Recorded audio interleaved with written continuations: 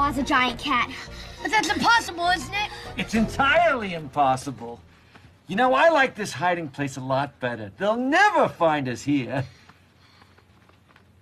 Scream and run. and away they go. Who are you? Who? Me?